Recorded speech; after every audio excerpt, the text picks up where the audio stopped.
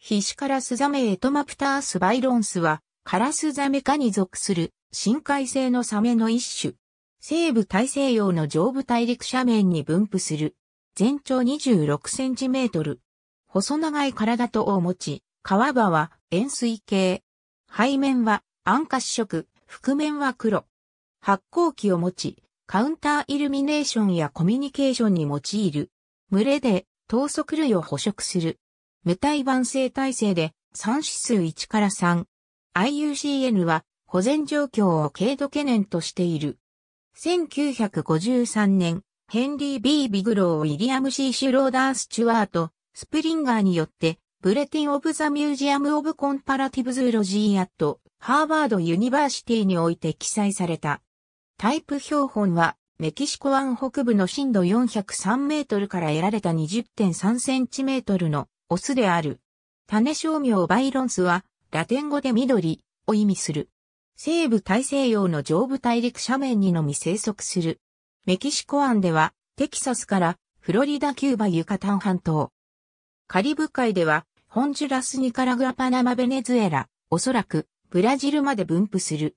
低生で震度196から915メートルから記録があるが、一般には350メートル以深である。黒い模様に発光器を含む体は細く、丸く短いほっと細長い尾がある。最大で全長26センチメートルの個体が知られる。目は楕円型で非常に大きい。鼻孔には短い全尾弁がある。上顎歯列は29から34。個々の葉の先頭は細く、3体以下の小先頭に取り巻かれる。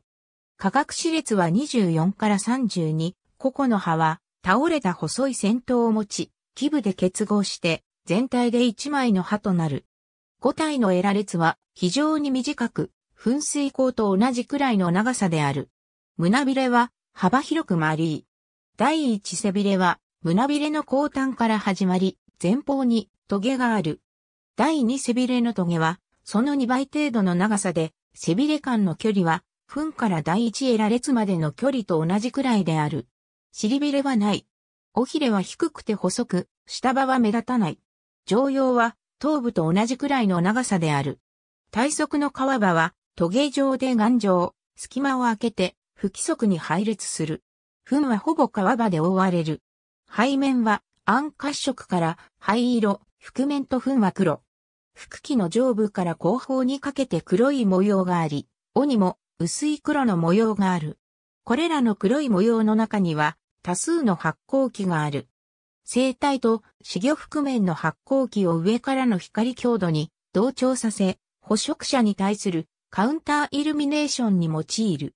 他の深海ザメのように消化体上部にある黄色い点で光の強さを感じ取ることができる。散発的にしか漁獲されないが、取れるときは大量に取れるため群れで移動すると考えられる。発光器は群れを維持するためのコミュニケーションに利用されている可能性もある。